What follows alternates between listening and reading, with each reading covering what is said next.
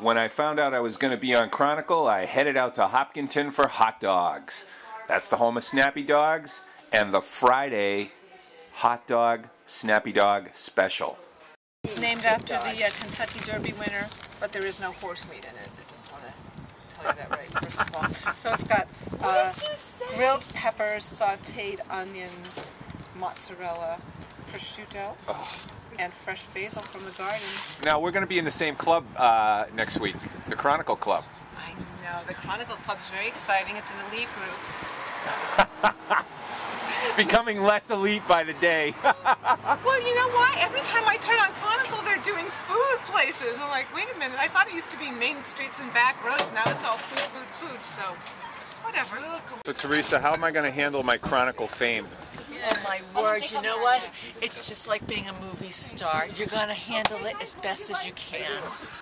Congratulations on your uh, Chronicle. We'll be watching it Tuesday. Yeah, all 10 seconds of my footage, probably, right? That's okay. T- hey, if people remember that. People remember us from last year. They're going to remember you.